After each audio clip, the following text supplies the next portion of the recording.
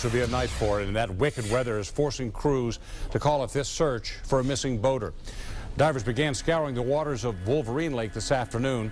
7 Action News reporter Ronnie Dahl has the latest tonight on the search. The distress call came in around 4.30 this afternoon. That's when other boaters out on the lake noticed the 62-year-old man calling for help.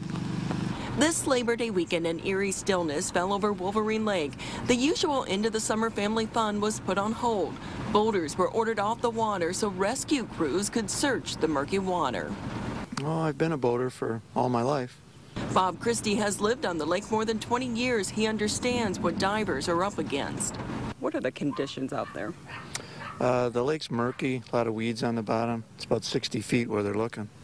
And the problem with the divers, is there's about eight foot of soot on the bottom, so the, there's no visibility. Divers can't see anything.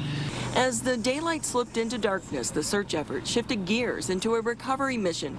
Sonar equipment is brought in to aid the divers. We're told the man they are looking for is 62 years old. His family has been coming to the lake for years. He was an experienced boater, yet today he was alone, and authorities still aren't sure what he was doing in the moments before he drowned. We believe he might have been in the water swimming. However, his boat was not anchored. Uh, it was not running at the time.